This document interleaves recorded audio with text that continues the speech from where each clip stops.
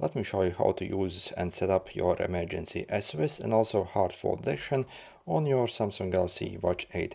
So first, if on this watch you simply click uh, your uh, upper button five times rapidly, uh, it will call your uh, basically the emergency service that you have locally basically, and these is set up by default. So you see if I rapidly press this, it will basically yeah try to call. Uh, so we have a choice basically to start call or also we can set up basically the automatic call as well if you want in the app. Okay so we can also cancel that yeah. Uh, so and to set this up uh, we are going to go to our samsung wearable app. So the samsung wear where you can manage your watch.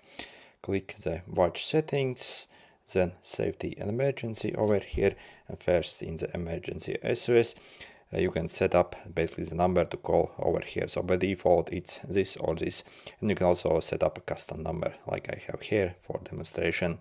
So uh, and also you see you can also enable this feature and also this over here for better control and also if we click hard fall detection so you can also enable it over here. So essentially if this watch senses that you might have fallen or maybe have crashed maybe you are riding your bike and you crash this watch can detect and essentially con contact emergency uh, like service or also your emergency contact as well. So to customize it simply click on the text of the hard fall detection.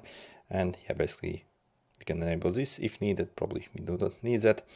So countdown also warning sound and the emergency number here to call. So again you, if you do not actually want to call the emergency number simply set up your own custom number maybe for, for a trusted friend or family member or whatever. Again Let's see if we can also enable this feature over here. So uh, oh also make sure to go over here and you can also customize it basically to enable it for basically always.